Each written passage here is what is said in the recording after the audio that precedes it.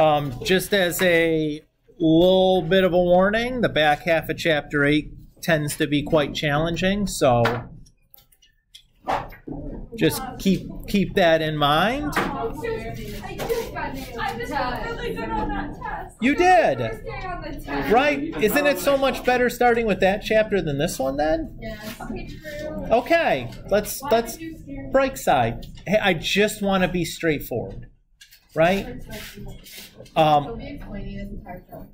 in particular, one of the things that becomes difficult for students is there's a lot of notation that has very specific meanings that we end, end up employing this chapter that we build out here in the first couple of sections that are not too difficult, but if you like can't get the notation straight on what that means, becomes kind of a problem later on. Um, So just wanted to give you the little bit of warning, right? Like if you got a, if you want to make sure you're all the way on point for this chapter, that's probably a good idea. Okay. Tends to be a challenging one. Yep. Okay.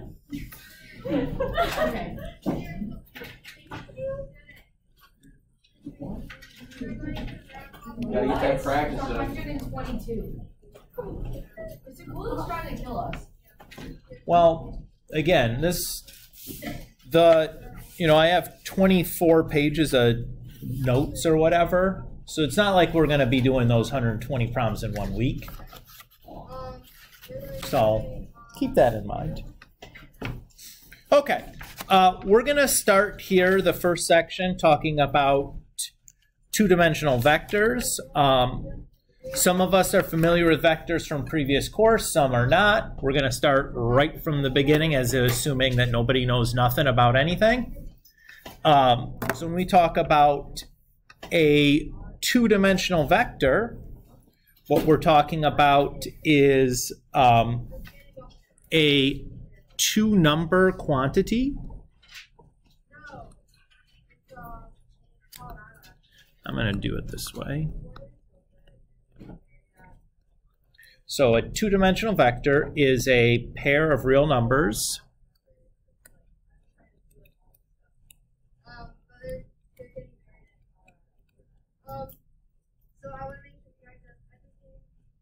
that represent both magnitude and direction.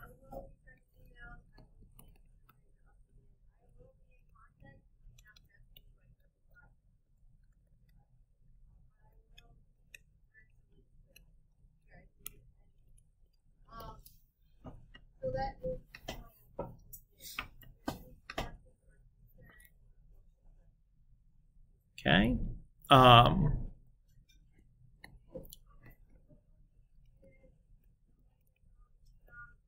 so a couple different ways that we can represent a vector.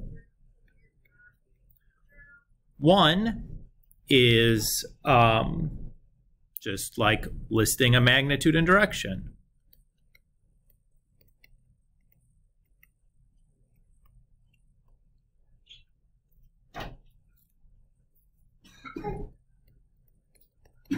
So an example that you might be familiar with is you got the plane that flying at 145 miles per hour at a bearing of, you know, 152 degrees or something like that. So the quantity, the miles per hour, is our magnitude and the bearing of 152 degrees is our direction.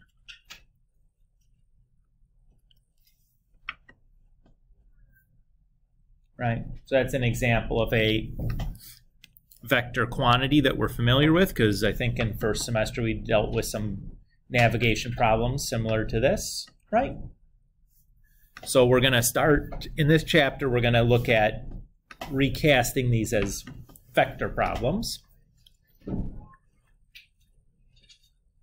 Okay. Another representation is um, a picture. You know, for example, I might draw this as my vector. Where the length here is going to equal our magnitude. And then like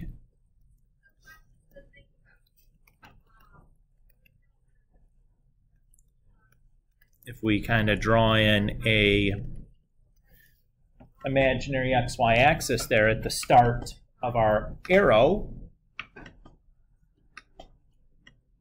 that would kind of represent our, you know, we could use our standard position angle to represent our direction there.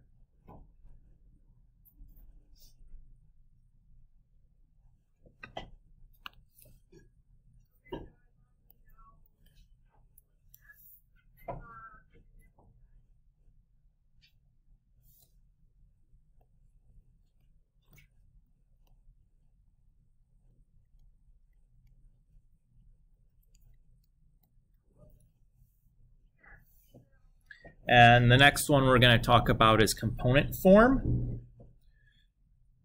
Um, so the component form is if I have some vector v, typically we represent a vector variable with a little hat on top of it, like I draw these little half arrows or whatever, to let you know that this is a vector quantity as opposed to like a standard variable like an x or a y. Hi, Ben. Oh, Jillian and Peyton, you guys have get out of jail free tickets, it looks like, if you want to come up and get them whenever you're ready. Um,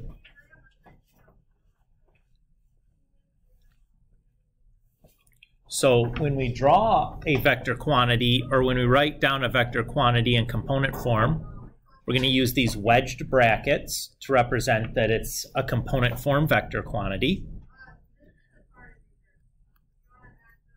And then we need two components to represent our vector.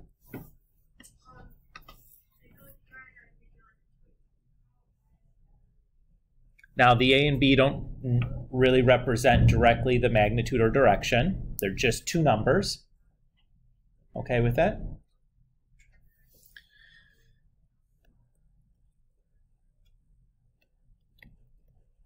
Now, when we say our standard representation of component form, and really, when we say component form, we really just mean this standard representation of component form.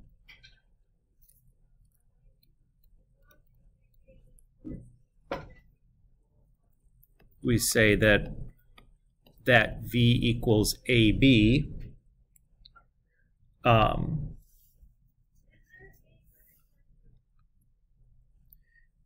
is the vector. Um, that has the um, the tail of the vector at the origin and the head of the vector at the point AB.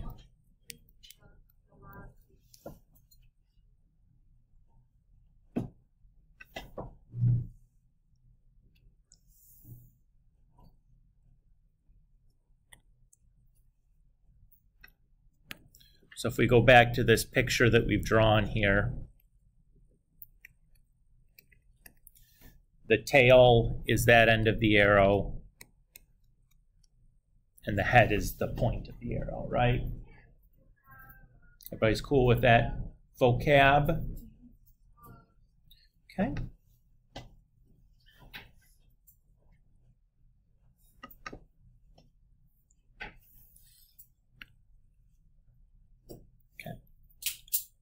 So we have these three ways to represent a vector. We can describe it via magnitude and direction. We can describe it with a picture, or we can describe it in this component form. Okay? um, we're going to introduce a little bit of notation, then we're going to spend some time talking about how we can move back and forth between these different forms. So how can we go from a component form to a magnitude and direction, or from a graph to a component form to a magnitude and direction, you know, just how we can kind of move back and forth between these different forms or these different representations, okay? Um, so a little bit more vocab. So again, when we talk about magnitude, we said that could represent the length of the arrow.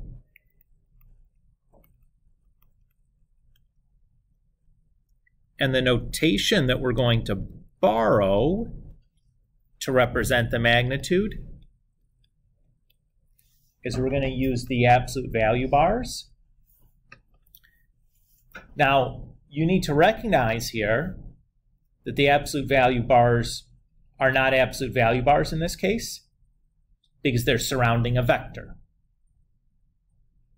Can't take the absolute value of a vector. That kind of operation is not defined. The absolute value operation is defined only on real numbers.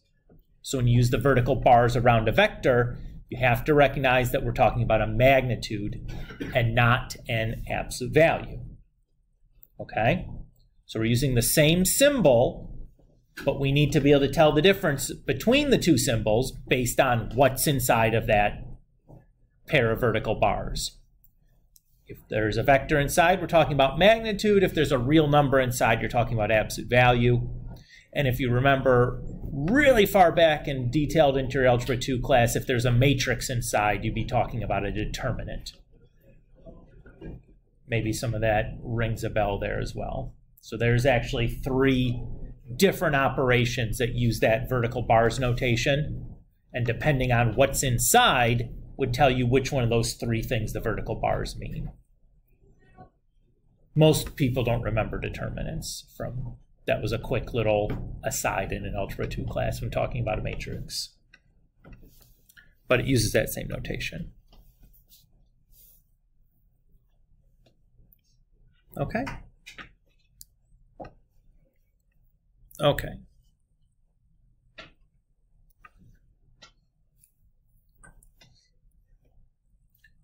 So what we're going to do now is we're going to talk about changing these different forms.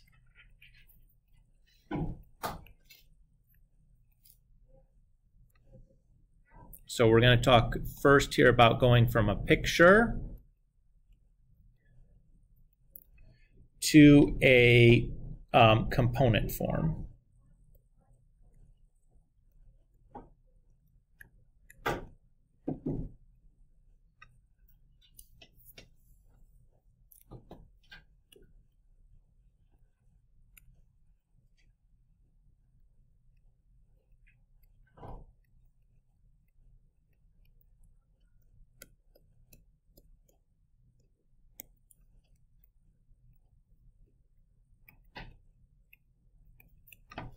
So here's my picture. I have a point at the tail, x1, y1, and a point here at the head, x2, y2. Everybody okay with that? If you're given a picture, you can always read the coordinates off the graph, right? So if I'm calling this vector v, we'd say that v in component form is x2 minus x1, comma y2 minus y1.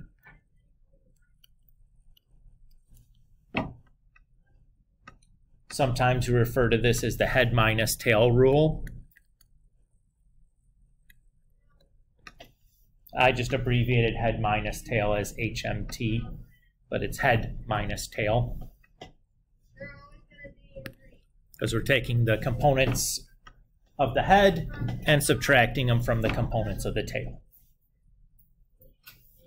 Now, geometrically, what is that really doing? Remember the definition of our standard representation for component form? is that the tail needs to be at the origin. So basically all we've done is we've taken it and translated it, you know, x1 to the left and then y1 down, which now seats the tail at the origin. So all we did was apply to translation, like you would in geometry, right? But this is the big takeaway because really we're not going to be doing this geometrically. We would want to be doing this algebraically because it's much less paper intensive.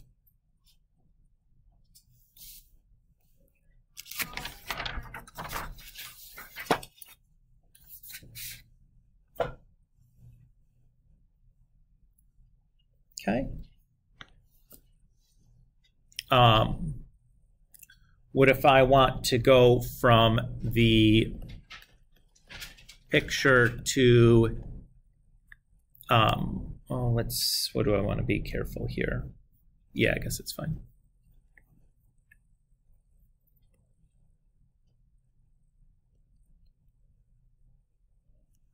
If I want to go from the picture to magnitude and direction.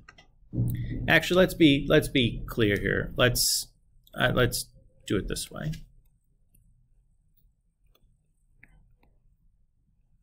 Let's do component form for, to magnitude and direction because in all reality, if you want to go from picture to magnitude and direction, the easiest way to do it would be to switch it into component form and then do those calculations to get to magnitude and direction.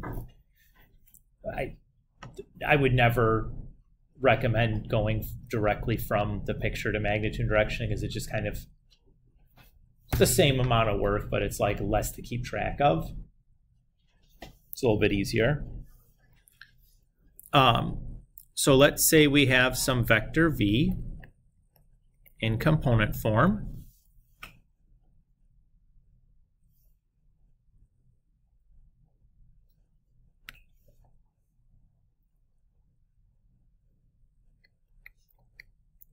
So if I want the magnitude of that vector, the magnitude is the same as length, right? Now, so to calculate the length of something in the coordinate plane, we're going to use the distance formula. Right, you guys remember the distance formula? The square root of x1 minus x2 squared plus y1 minus y2 squared. So in our case, our head of our vector is at the point AB, and the tail of our vector is at the origin, that's the point 0, 0.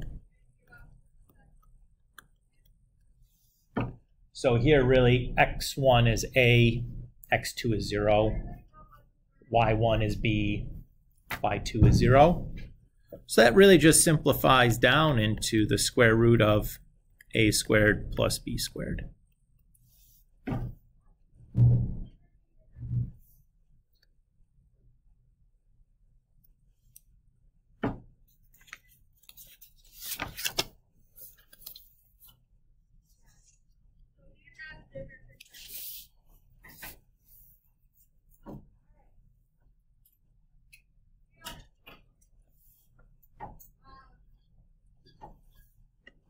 Everybody so far so good? Let's talk about direction.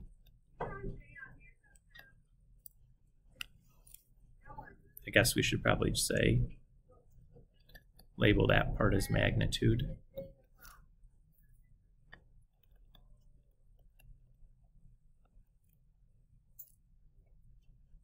So the direction we're going to use here for our vector AB is going to be um, just a standard position angle. Now, my suggestion for what I would do is I would always use a standard position angle between 0 and 360. I wouldn't want to use a negative angle. I wouldn't want to use something bigger than 360. Since we're just talking about a vector, has to, you know, the direction, every direction can be described between 0 and 360 because we're not talking about something spinning on a machine or something where it makes sense to have. So just, you know what I mean, guys? Okay. So let's say that I just have here's my vector.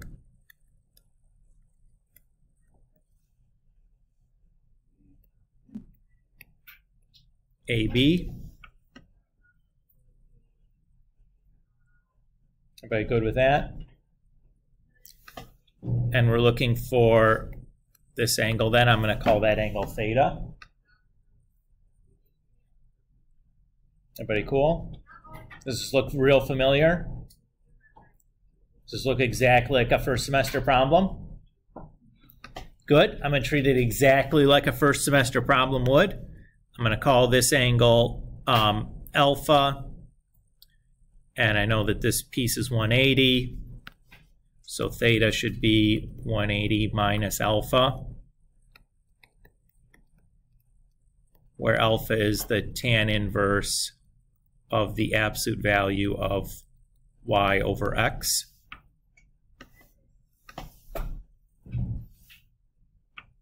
And this is just an example, right? The takeaway is that it's the same as what we've done before. Oops. And the, the big thing to remember is that the alpha is this tan inverse of the absolute value of b over a. But we got to make sure we're in the correct quadrant. You know what I mean, guys? Just like we'd had to before. So just to remind you guys, um, you're always going to be adding or subtracting from the piece of the horizontal axis of the x-axis that makes up your angle alpha. And if the first or the last axis you crossed was vertical, it's a subtraction problem. If the last axis you crossed was a horizontal, it's an addition problem. So for example, you know, if you're down here, this would be 180 plus alpha. Since the last axis you crossed is horizontal. That all rings some bells? Isn't it nice when it's like the same process that we've already done? It's not something new. This will become a regular pattern throughout second semesters. Like we introduce a new, like a new framework, and it turns out that the new framework is the same as the old framework. It's just kind of like a little bit of name adjustment or something, but it's still kind of the same process, which is really cool. Okay. Um, and then let's talk about going from um, magnitude and direction to component form.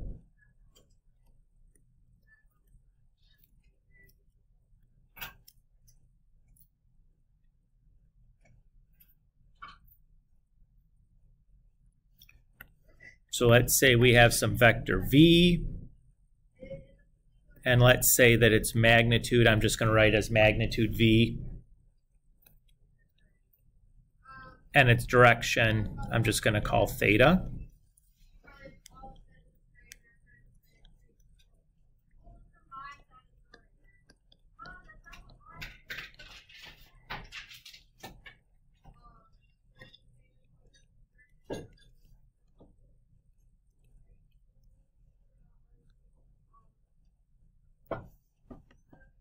So to take that magnitude and direction and put it into component form, we're going to do the magnitude times cosine theta for the first component, and then the magnitude times sine theta for the second component. That should look familiar. Right, didn't we do that? Basically that exact formula in first semester when dealing with those vector story problems. We did. Um, just as a heads up, sometimes this process of going from magnitude and direction to component form is called resolving a vector. So we might say resolve the vector to component form, and that's really what we mean. Sorry,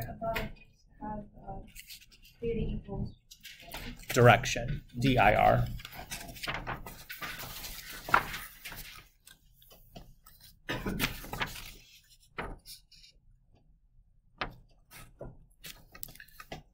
So let's just do a couple of numeric examples here. We've talked about going back and forth between these different forms. Um, so let's just run through a couple of uh, quickies. Sound good to you guys?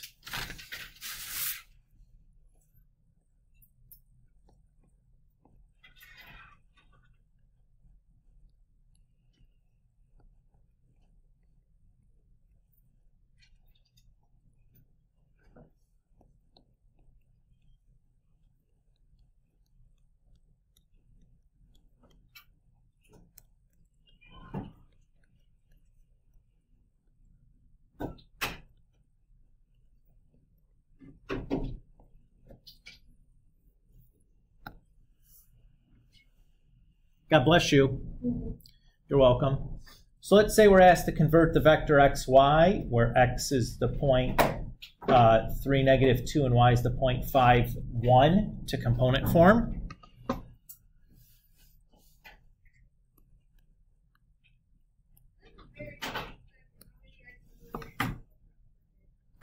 So to do that, we're going to do that head minus tail rule that we had discussed previously. Uh, but which one of x and y is the head and which one is the tail? Uh, yeah, so the our notation here is going to tell us since the arrow part is over the y, I know that's the head. And since the tail part is over the x, I know that's the tail. Everybody can see that in the little notation on our vector notation there. We cool? So head minus tail, head minus tail.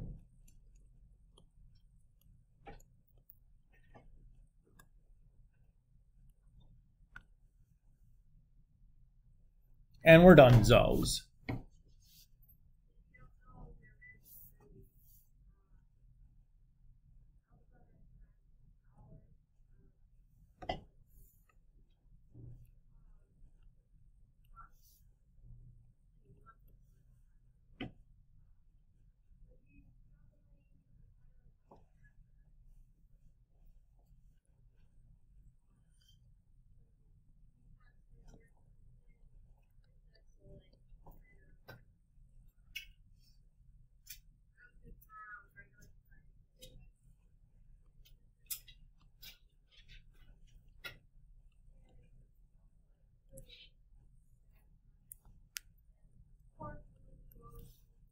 Okay, let's say we want to now find the magnitude and direction of the vector u in component form. So the magnitude is just a or the square root of a squared plus b squared. So that's the square root of 29 you wanted, you could make that a decimal. Depends on the context of the problem, what they're asking for. Here, I've given you no indication of rounding or any context of why that you would want to make that a decimal. So I'm just going to leave it as the reduced radical there. And then to get the direction, I would need to draw a picture. So negative 2, 5 is over here. So there's my alpha and 180. So here we're going to say theta is, cos or is equal to 180 minus the tangent inverse of the absolute value of y over x.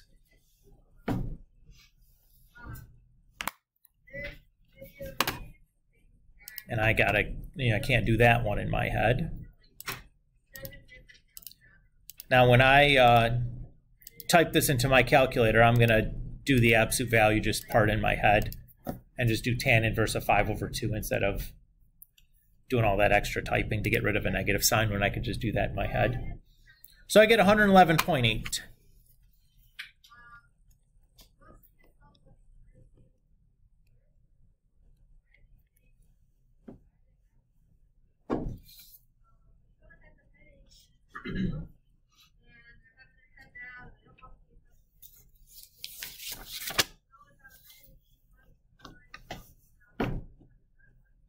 Feel okay doing that?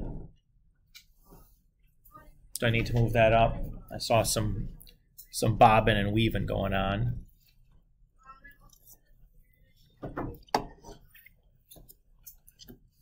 All right.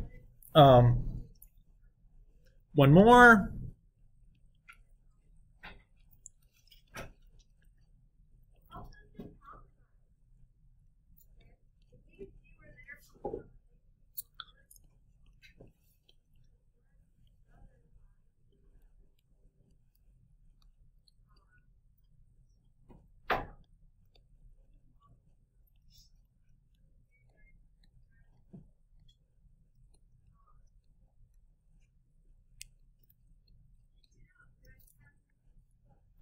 Okay, so let's say we want to find the component form for the vector u that has direction 224 degrees and magnitude of 5. Well, this is really easy. Component form, so I'm going to use the wedged bracket. Then we're just going to do the magnitude times the cosine of the direction, and then the magnitude times sine of that direction. And when I type that stuff into my calculator, I get about negative 3.60 and negative 3.47.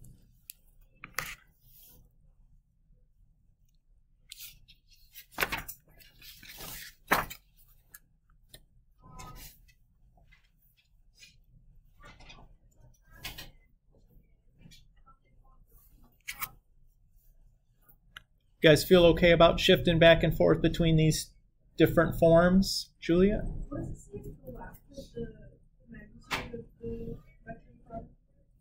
Uh, it's equal to 5? No problem.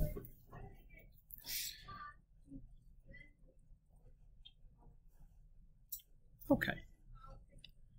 So again, these are relatively easy or relatively familiar tasks that we've been asking you to do so far, just changing between the forms. Um, now, the form you'll end up using the most is the component form because vector operations are the simplest in component form, and getting things into component form is pretty easy.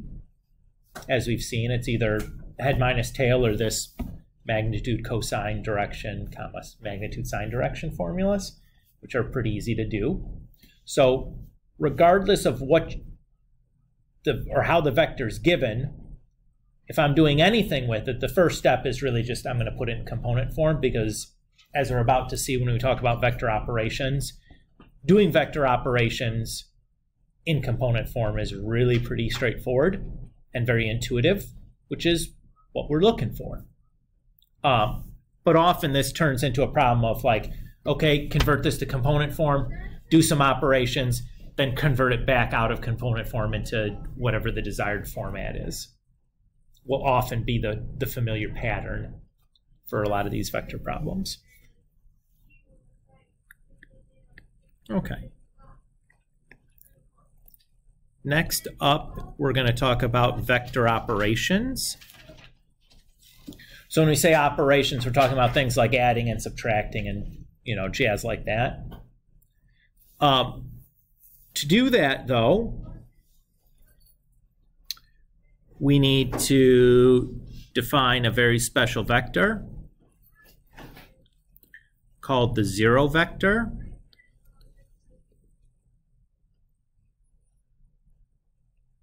Now, the letter that we use to describe the zero vector, what letter do you suppose we're going to use?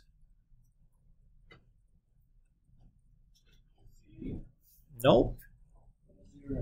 We use the letter O. Why the letter O? It looks like a zero. Now, keep in mind, I am writing the vector hat on top of that. If you do not write the vector hat on top of that, and you just like write like zero equals something, that's wrong. Have to have the vector hat on top of it to know you're talking about the vector zero and not the number zero. Two very different things. So the zero vector is the component form 0, 0. or the vector with magnitude equal to zero and no direction. Note that we're not saying the direction is zero degrees. We literally mean no direction. Now this is odd. It's the only vector that is allowed not to have a direction. But it's necessary to have this little loophole to make the arithmetic work. But that's not uncommon. Remember when we talk about the real numbers, every number has a multiplicative inverse except for 0 because 1 over 0 is undefined. So much in the same way, we have something with a little bit of a loophole here. Okay. Um,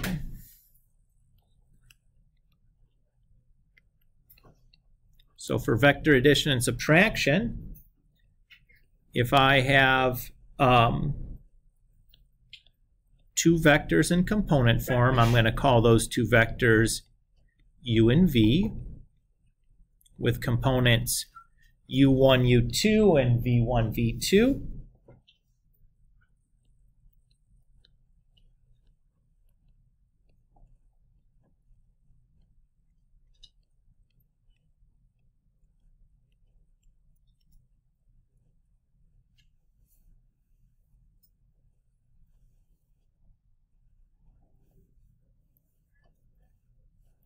To get the sum of those two vectors, or sometimes we call the sum the resultant.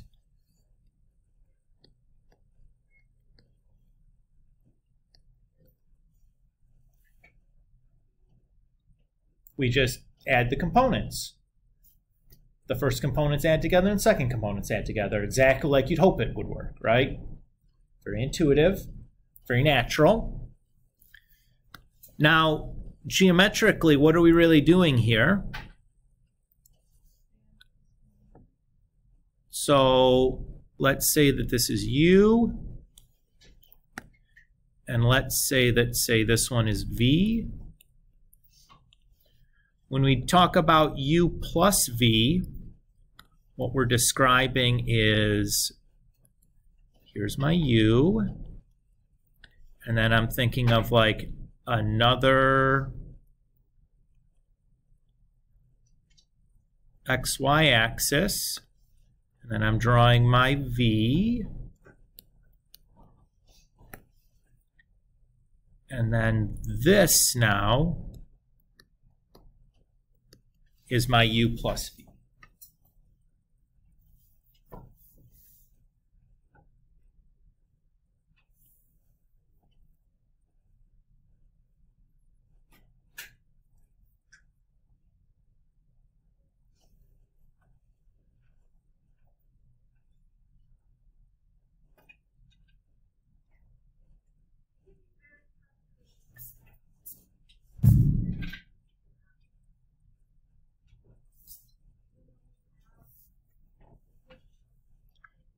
So when we draw this picture, notice the important part here is that these vectors u and v are drawn head to tail.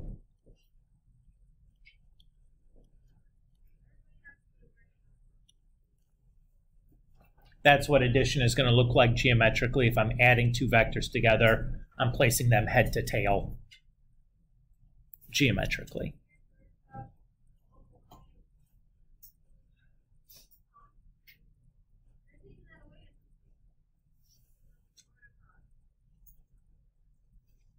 Now, is is uh, is vector addition commutative? Does it matter if I do u plus v or v plus u?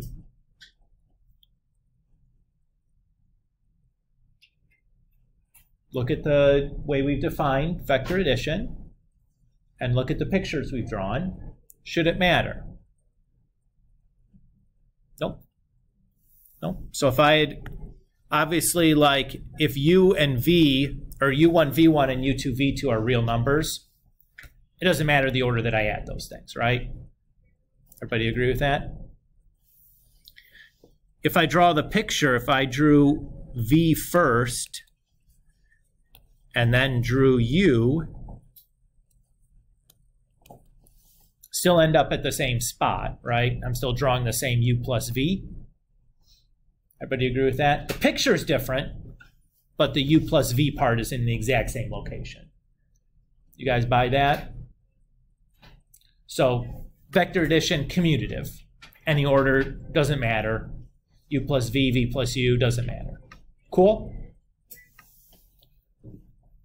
Okay. Um, so multiplication, we don't really have a vector multiplication. Um, what we have is this new thing called scalar multiplication.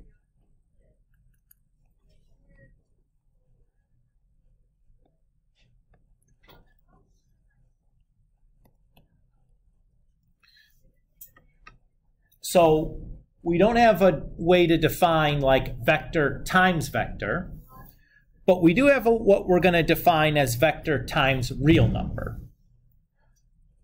So for a real number, k,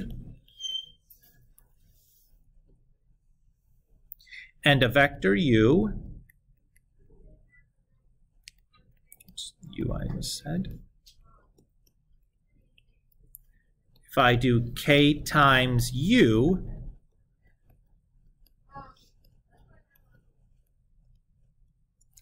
I'm just going to multiply that real number to both components of my vector. That's it.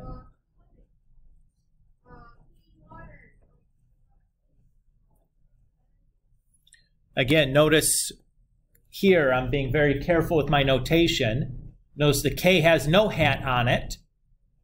Because the k has no hat, I can tell right away that the k is a real number and not a vector quantity. Since the u does have a hat, I can tell the u is a vector quantity. So I can tell that this dot here is talking about scalar multiplication and not like vector times vector or real number times real number or something else, right? So again, the notation here is important that we're able to tell that that dot here is scalar multiplication and not multiplication or something. Everybody cool? Again, very easy to do though, right? From an arithmetic standpoint, very, very straightforward. Very, very easy. Um, let's just take a little exam trip to example land.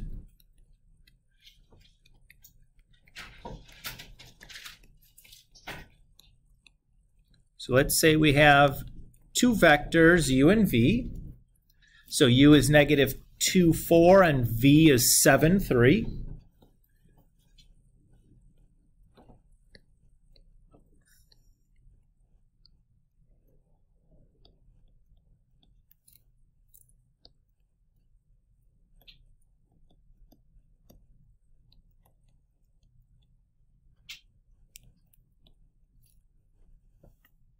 Yes, Anise. Sure.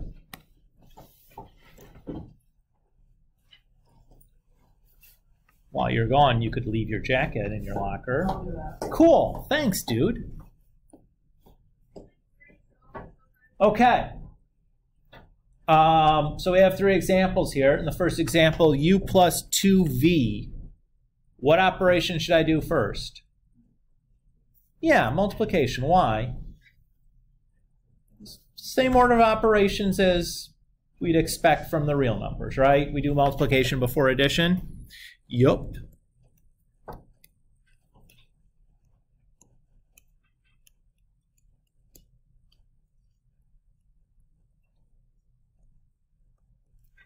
So we get 1210. Everybody coolio on that? I didn't show all the work in there, but it's just like adding things together and multiplying by things by two. I didn't feel like I needed to do that. We're cool with the, what I showed though. I did the multiplication first and then I did the addition after that. I didn't write down like the intermediates, but like, come on guys, we don't need to do that, do we? Nah. Okay. Uh, for B, nothing much to it. Everybody happy there?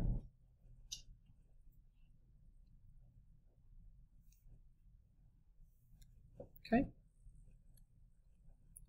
And then my last one, again, multiplication first.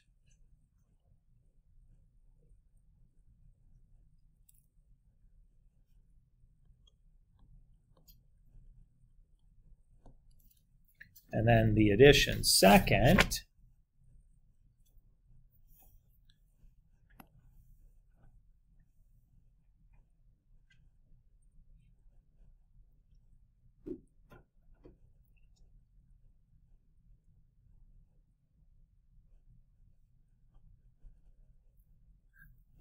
Oh, this is probably worth mentioning. What does scalar multiplication look like geometrically? So let's just say this one. So if this is V here,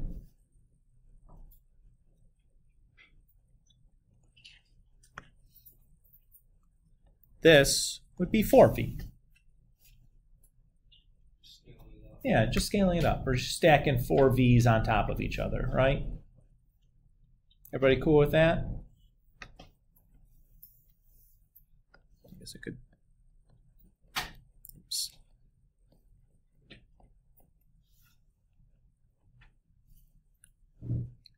I didn't mention that. I thought it was kind of obvious, but then I was like, oh, I didn't mention that. I should probably say something about it.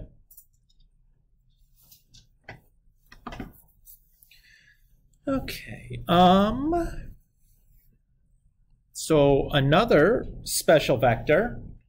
So one of our special vectors was a zero vector, right? Another special vector is called the unit vector.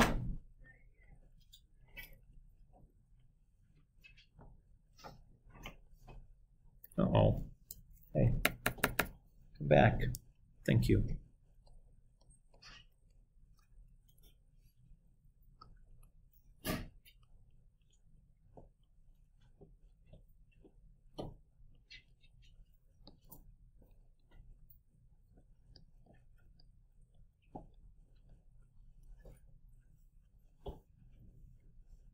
So we say that a vector u is a unit vector if and only if its magnitude is 1. Um, so are unit vectors unique? Nope. How many unit vectors do you think we have? Infinitely many. A lot more than a couple whoa, Mr. Kulick, get out of town. Like, I can see one zero and I can see zero one, but what are the rest of them?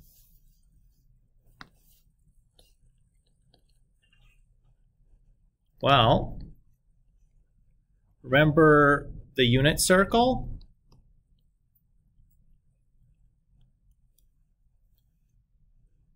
The point cosine theta comma sine theta represents any point on the unit circle, correct? What's the radius of any point, or the radius on the unit circle is always 1. So the length from the origin to that point on the unit circle always has length 1. So any point on that unit circle is a unit, represents a unit vector, right? If I write it in component form rather than as a point, if I choose to write it as a component form vector. Is that cool? So these unit vectors are important because they're basically just a direction vector, right? Is they can I can write any vector as a unit vector times some scalar. Does that make sense?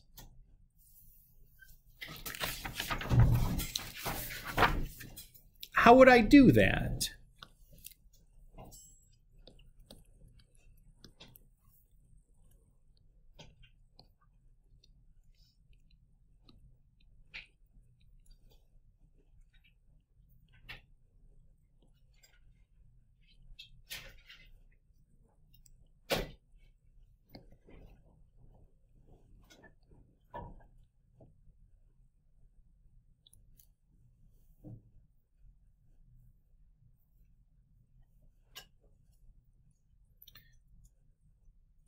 So if we say, here's our vector v, and I want a unit vector in the same direction as v,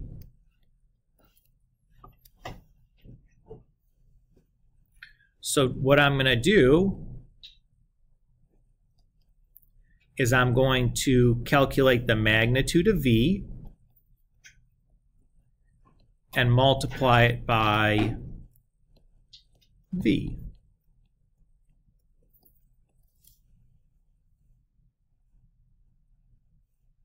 So are you taking the reciprocal of magnitude? Right, so if I multiply, so if I want then the magnitude of u,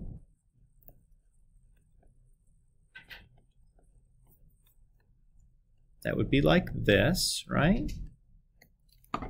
Okay. And I can pull out that scalar because that's all that 1 over the magnitude of v is, is a scalar. And the magnitude of v is just the magnitude of v. So that's 1. So it's a unit vector, right? Okay, yeah. And since all we're doing is scalar multiplying v, does u have the same direction as v?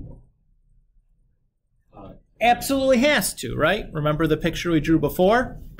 If all I'm doing is scalar multiplication to the vector, is that direction the vector going to change? Unless you're multiplying by zero, nope. Case you, in the case you multiply by zero, then you get a zero vector that has no direction. But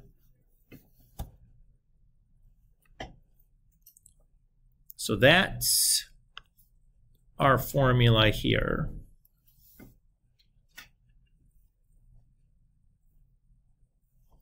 So let's do a quick numeric example. Yeah?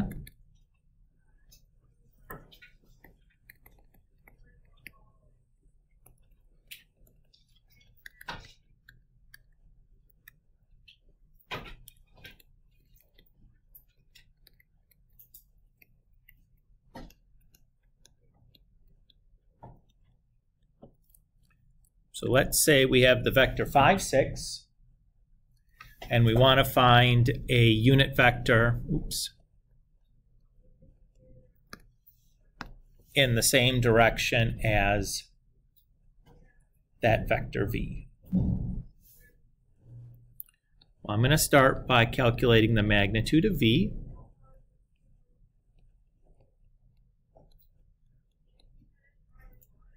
Uh, 36 plus 25 is 61.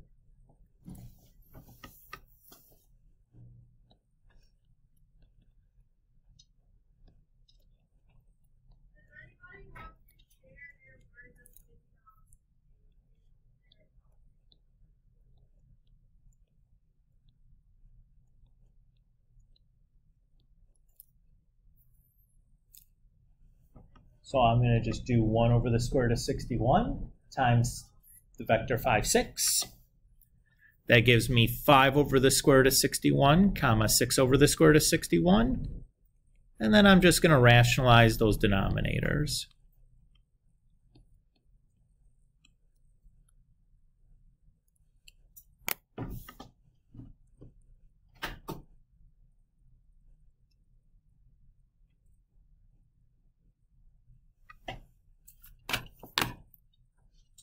And if you really wanted to, we could check to make sure that that is actually unit vector by calculating its magnitude using the magnitude formula. I promise you it is. But let's just check it real quick. So remember the magnitude is a, the square root of a squared plus b squared. Oops. Hey, come out.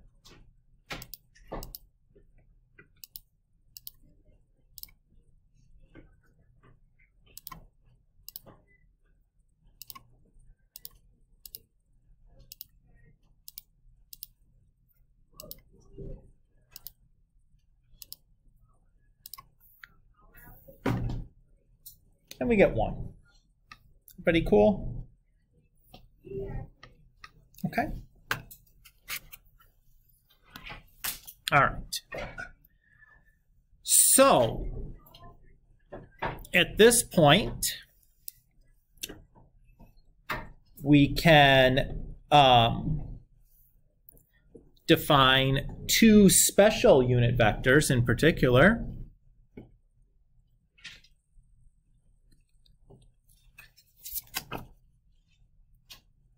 Creepers just keeps on going and going and going. Uh, we call these guys the standard unit vectors.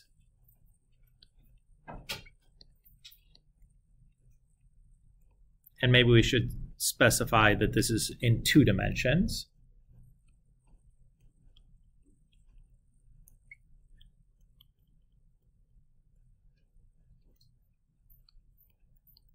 So we denote those as the vectors i and j,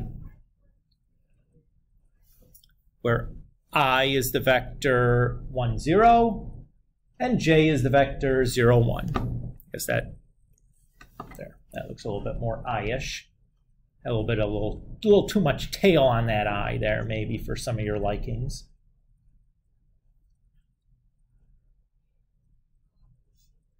Um, so why do we care about these two special unit vectors? Um, because they're going to allow us to decompose any vector into uh, the sum or difference of these standard unit vectors. So let's say that we have the vector um, CD. Well, I can think about that as the vector C0 plus the vector 0D. Everybody cool with that? And I could think about C0 as the scalar C times the vector 1, 0, and 0D as the scalar D times the vector 0, 1.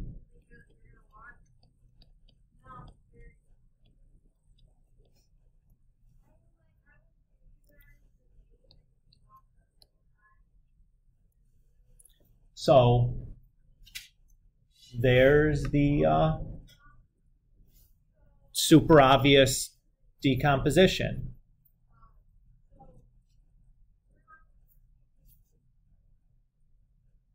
So I just have the first component times the vector i and the second component times the vector j because really the vector i is 1, 0, so it's only representing the first component. The vector j is 0, 1, it only represents the second component. And that's that. Mr. Kulick, so easy. Just a lot of notation thrown at me, because now I have another form that I can represent a vector in. Yep, that is true. The nice part, though, about the standard, or these, uh, or this is called the linear combination form, by the way. We should probably say that.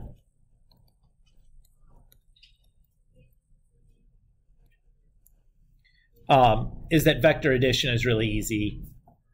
You know, a lot of the vector operations are still quite easy. Okay.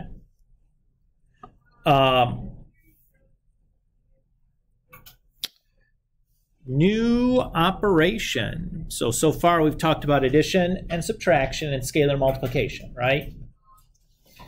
This new operation is called the dot product.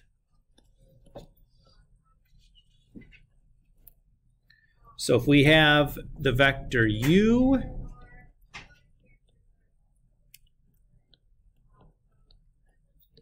and the vector v, if we talk about u dot v, what we get is u1 oops, times v1 plus u2 times v2. Notice something unusual here. The dot product of two vectors gives me what kind of quantity?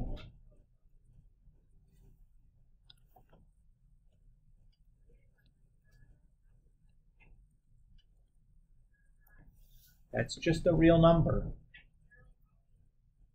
right? Component times component plus component times component. Not a vector, just a real number.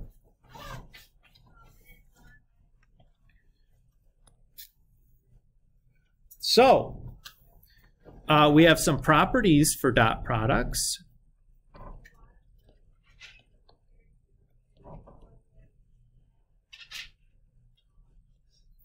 You're going to prove these properties in your homework.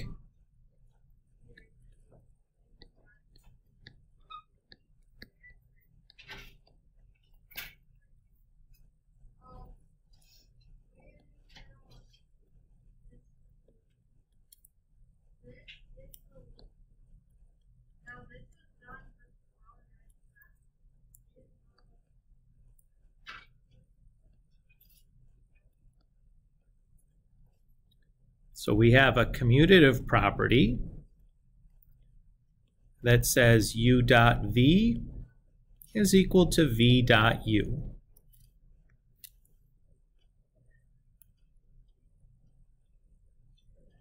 We have a multiplicative property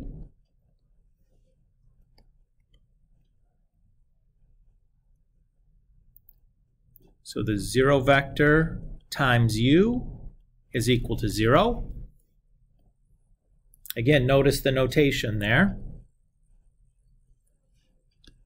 Uh, we have the distributive property. So here that we have u dot v plus w is equal to u dot v plus u dot w. And the order in which we do this um, doesn't matter. Right, if I did v dot w dot u, I'm sorry, v plus w dot u, we're still going to get the same thing here. Because the commutative property, right? v dot u and u dot v are the same things. We have the scalar associative property.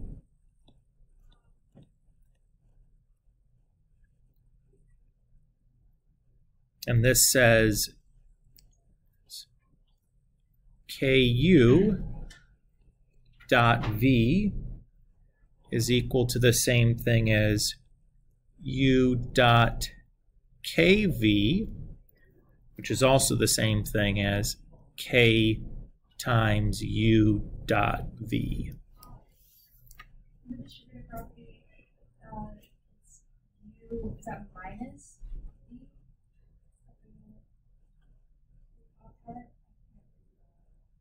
The distributive property? Yeah. They're all dot. There's no minuses um, anywhere, anywhere here.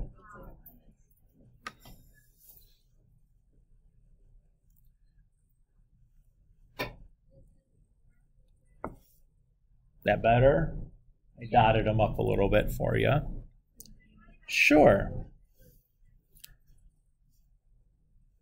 And then the last one is called the magnitude property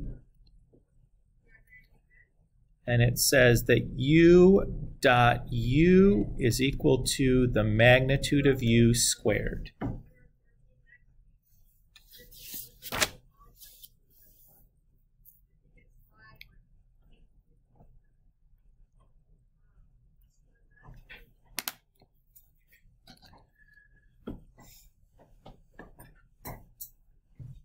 So we're not going to prove these here right now because they actually are homework as part of the homework set to do these proofs. None of them are terribly difficult.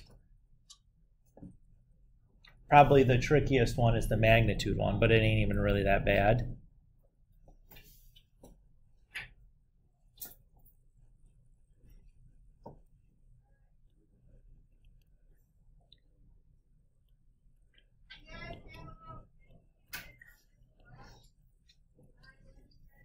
So let's do a couple of numeric examples here.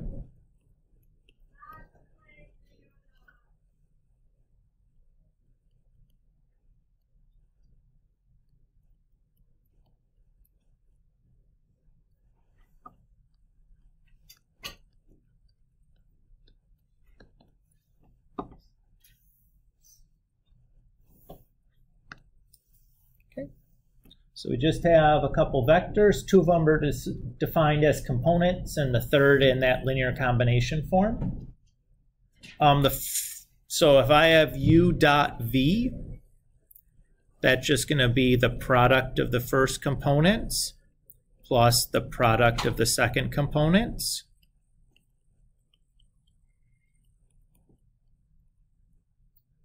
So I get negative 17.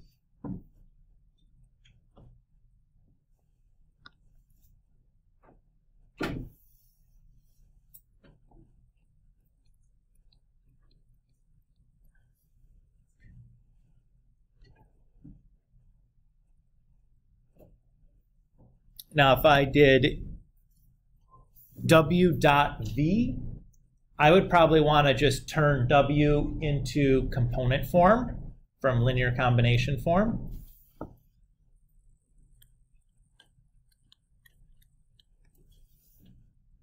So that's just 8, 4. You just do it on site. The i's are the first component, the j's are the second component, done.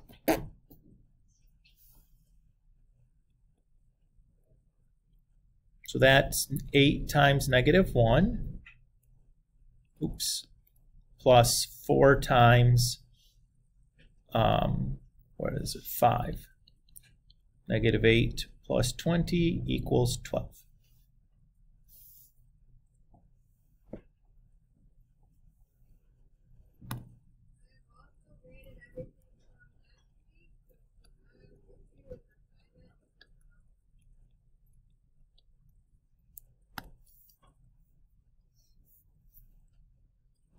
What if we do this one? u minus w dot 2v. Well, if it's me, um, I would probably prefer to do the, um, well, the subtraction we definitely have to do first. So u minus w, 8 minus 4 is, or 8 minus 2 is negative 6. And then 4 minus I'm sorry, negative 3 minus 4 is negative 7. And then I'm going to do the scalar multiplication here first. Really, you could do the dot product first and then the scalar multiplication, but like, I don't know why you'd want to do it that way, but you could. And then I'm just going to do my dots.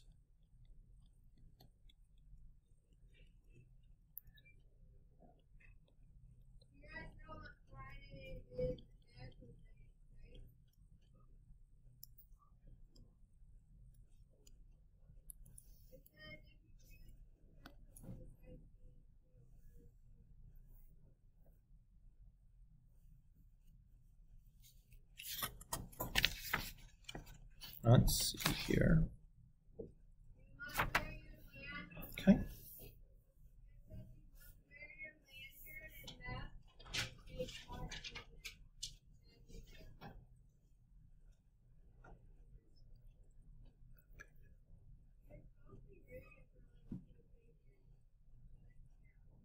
So far, so good. Again, easy calculation to do, right? The dot product's an easy calculation. And just one of these things like you got to be careful with the notation and keeping track of what's a vector and what's not a vector and like am I doing these in the right order and you know but the actual operations themselves are not tricky. There's nothing complicated about what's going on. You just have to make sure you're getting used to the notation and paying attention a little bit. Um, one more big idea left in this section, and that's the angle between two vectors.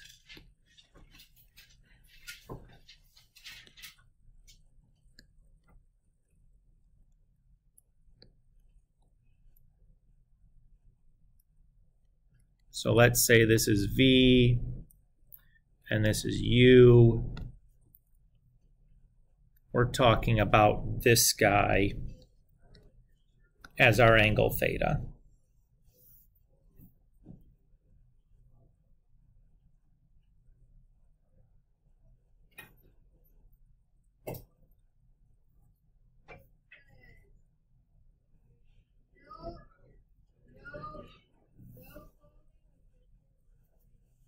Everybody cool with what we mean by that? Notice that this is written tail to tail. If we're talking about, if you wrote them head to tail, that's something different. That's not the angle between two vectors. So our formula here is cosine theta equals u dot v divided by the magnitude of u times the magnitude of v. Or if you want the theta already isolated, you know, you're doing the cosine inverse.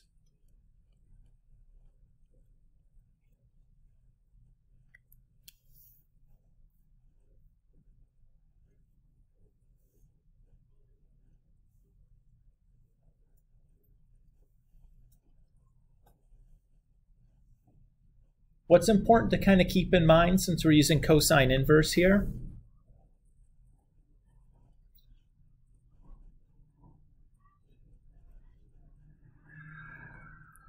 If you remember that the range for cosine inverse is from 0 to 180. So cosine inverse is always going to find you the smaller of the two angles between the two vectors. It would never tell you this one right? So it gets a little bit sneaky if you had something like this, where now the theta you're finding is here. It's always going to be the smaller angle between the two vectors. Just kind of keep that in mind if you're drawing a picture and trying to sense out and be like, that that's 146 degrees. Like the thing I've drawn is bigger than 180. Like what's going on? It's like you're just looking at the wrong side of the the angle. Does that make sense?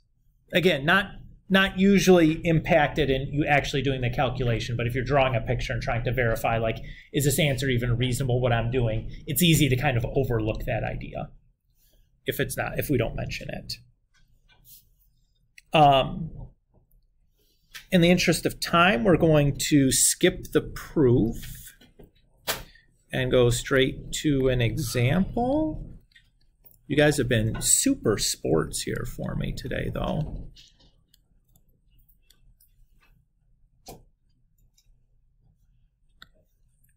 So if let's say I want the angle between vectors u and vector v, there's three things that I need. I need u dot v, I need the magnitude of u, and the magnitude of v.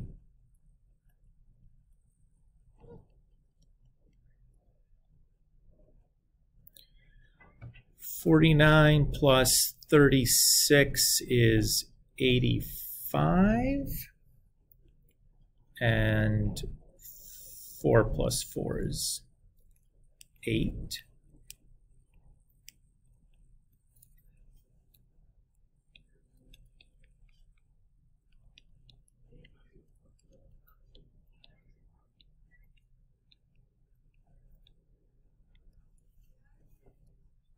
So I just plug into my formula then. Um, notice I didn't bother to rationalize any denominators or to reduce the radicals or any of those things because I'm just going to take the cosine inverse of whatever that is. So like me doing any extra simplification is just me wasting my time. You know what I mean, guys? So I'm just going to let the calculator handle that. And again, I'm going to use the fraction command on my calculator so they don't have to worry about so much about like a million and a half parentheses or anything going on here.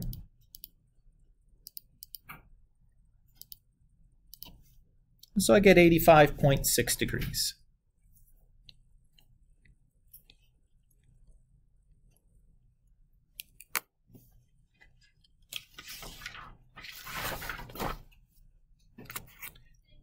So that's pretty easy.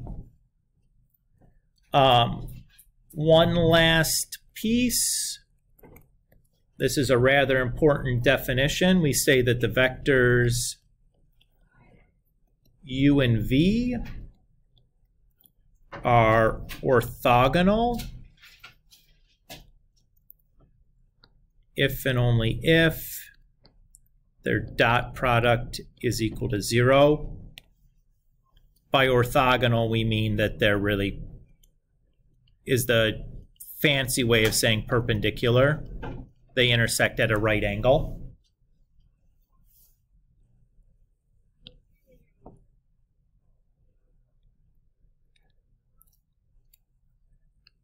So let's say we have oops,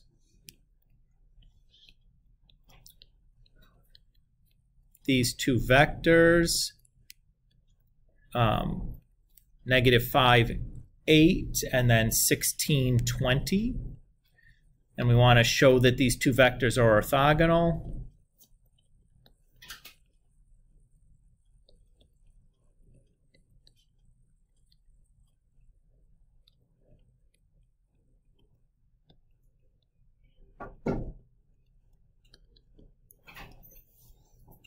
That product comes out to be 0.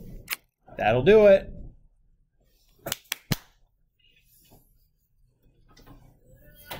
If I want to show that they're orthogonal, that's all I need to do.